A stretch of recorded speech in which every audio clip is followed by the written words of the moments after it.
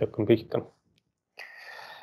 ehk siis, kui me eelmine kord lõpetasime, meil oli äh, temperatuuriandur ja rõhuandur, kaks kõige suuremat nii-öelda andurite gruppi, mis meil üldse on. ja tasemeanduri panin ka siia nii-öelda otsa. ehk siis äh, tasemeandurit me ka kasutame suhteliselt palju. ja põhiidee on siis äh, mõõta mingit taset. mis taset te siis tahate mõõta? paku huupi. no näiteks mingis, äh, ma ei tea, mahutispaagis olevat vedeliku taset mm. -hmm. kas see vedelik on mingisugune tarbevesi või see on kütus või see on mingi muu spetsiifiline, ma ei tea, kas või ma ei tea, ükskõik, mis see spetsiifiline aine võib seal sees olla. kui ta on, äh, kui on vaja süsteemis mõõta seda taset, siis äh, kasutame tasemeandurit. nii, äh, tingmärk võiks olla pluss-miinus selline ehk siis L nagu level, E nagu elektrikal ja siis alt on siis järjekorranumber.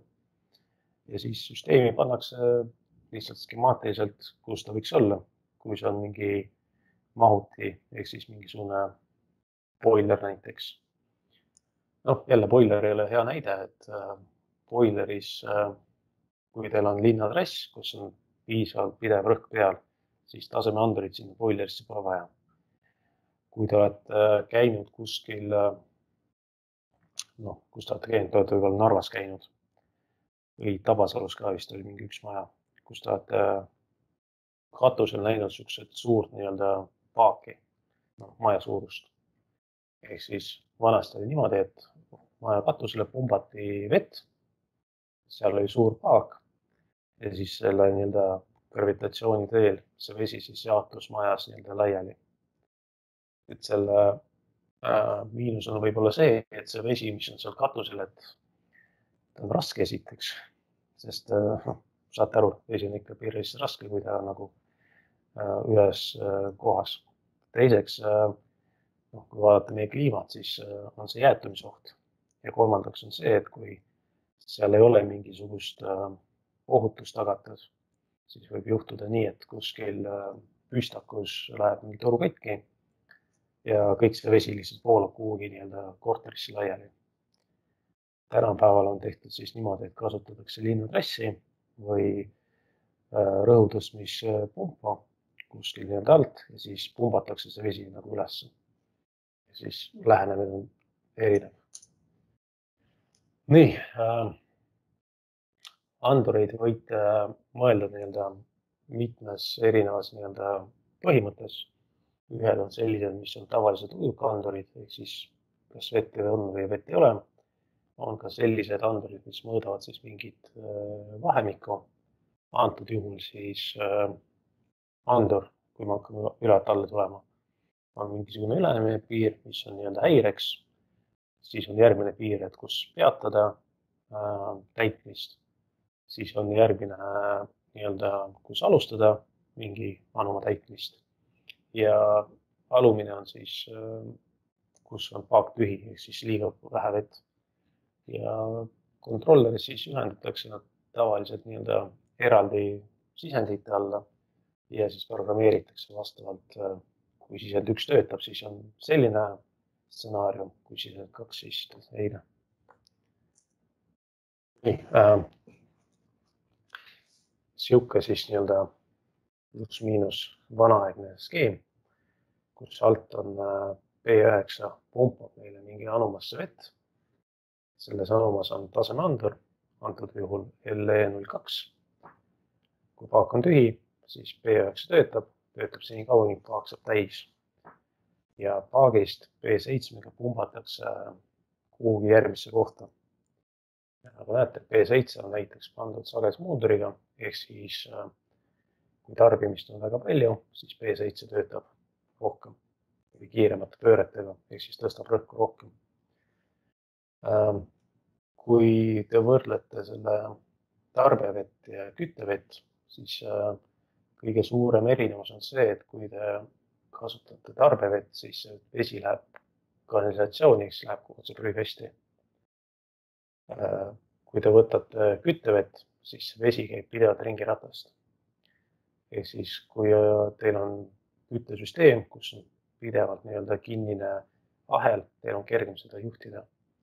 sest tarbeveega näiteks teil on kodus, ma ei tea, üks valamu, teine valamu, dušš ja pesumasin ja veel midagi. Te elu sees ei suuda nagu ära programmeerida selle kontrolleri niimoodi, et me teaks, palju see tarbimine on. ehk siis, kui teil oleks näiteks viis tarbimist, te teate, et hommikul töötab näiteks kaks tükki, kell kaks hakkab mingi kolmas tööle, kell neli lülitab välja, siis oleks võimalik nii-öelda pumbad programmeerida nii-öelda astmeliselt. aga kuna te seda ei suuda ennustada, sest te ei tea, millal te lähete nii-öelda nõusid pesema, millal te ei lähe, siis tavaliselt äh, hoitakse veetorustites mingi statsionaarne või pidev rõhk. Kui te olete mingi vanas majas käinud, siis võib-olla olete tähele pannud niimoodi, et kui te teete näiteks kraani lahti, siis äh, vesi, mis sealt kraanist tuleb, ei ole nagu stabiilse pideva nagu vooluga pideva rõhuga. keegi tahab midagi sisse saada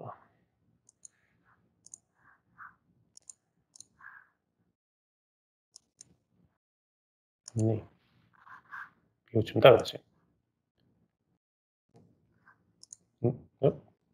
tagasi. ehk siis see, see rõhuandur, tema eesmärk on see, et mõõta selles torus rõhku. kui toimub äh, rõhulang, ehk siis tehakse kraan lahti, vesi voolab välja, B7 hakkab tööle ja töötab seni kaua, kuni see rõhk taastatakse. Siis on veel üks näide ähm, mingi katlasüsteemist ehk siis teil on kütusemahuti, on see mingi diisel või mingi muu vedelik. ja siis äh, te kasutate seda kütust äh, katla kütmiseks. tavaliselt on need suured nii-öelda tonnised kuubid kuskil keldrites või kuskil nii-öelda peidus. ja tavaliselt äh, see, kes elab seal majas, siis ta pidevalt jälgib, et seda kütust oleks seal. aga süsteemi mõttes me peame mõtlema niimoodi, et meil tasub sinna mahutisse panna tasemeanduri. kui seda kütust äh, enam ei ole, siis süsteem ei tohiks tööle hakata. siis peate aru saama, et kui see B3 hakkab tööle ja töötab tühjana, siis ta väga kiiresti läheb pikki. ja siis B3-e nii-öelda asendamine on suhteliselt nii-öelda raske tegevus. Siin võib-olla veel on see, et ähm, see, mis on DCE01, see on temperatuuri kontroller, mis juhib nüüd äh, vedeliku ehk siis kütuse andmist katlasse, süüdet ehk siis paneb tööle, mõõdab katla temperatuuri ja reguleerib äh, sissepuhet ja väljatõmmet. noh, nagu te teate, tavaliselt kateldel ei ole eraldi sissepuheventilaatorid ega väljatõmbeventilaatorid. siin on nad pandud selleks, et äh, oleks süsteemi lahendus. nii, mis on pildil? pildil on erinevad äh, tasemeandurid. Ähm, jällegi kasutame vastavalt nii-öelda otstarbele, vastavalt vajadusele. kui meil on vaja nii-öelda,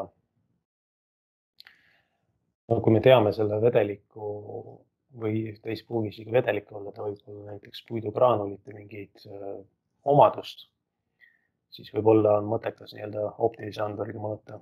kui on äh, tavaline ujuk, siis meil on mõeld-, mõeldav mõõta seda ujuki anduriga. aga neid andureid on erinevat nii-öelda tüüpi. siin ei ole kõike, et neid on veel ja süsteemi valikul peaks lihtsalt arvestama, et mida te tahate mõõta. Mõnikord äh, on mõttekas panna näiteks äh, küttepuude juurde ka mingisuguse tasemeanduri. ehk siis, kui on täisautomaatne, viskab küttepuid ise sisse. kui teil on näiteks mingisugune, ma ei tea, põlevkivi mingisugune anum, sinna ka võib-olla mõttekas panna. nii äh,. kontrolleri vaates ehk siis äh, mingi sisend on ühendatud mingisuguse väljundiga. kui on tavaline üks-null nii-öelda digitaalne sisend. näiteks äh, kui ujug äh, annab häiret või näitab, et äh, ei ole enam seda mingisugust ainet seal sees, siis pane mingi väljuti tööle. ehk siis väga lihtne. Kui teil on vaja mõõta seda nii-öelda vahemikku, siis te juba kasutate äh, nii-öelda mingisugust vahemikku kontrolleri programmeerimiseks. et äh, ma ei tea, kas te, kas te selle Tiia portaliga olete jõudnud ka mingi etapini nii-öelda õppetöös